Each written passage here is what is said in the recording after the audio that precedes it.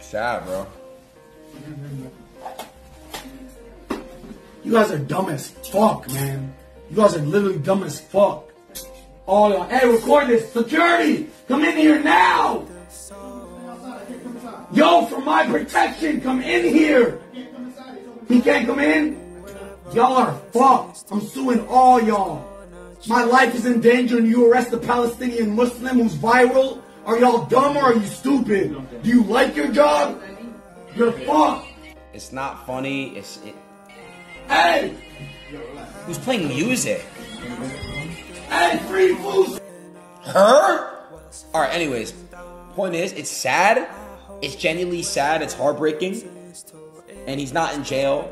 And he's not. He's not. He's not in, in jail or prison. I think he's just getting the medical attention he needs to get. Mental health is a, is a serious.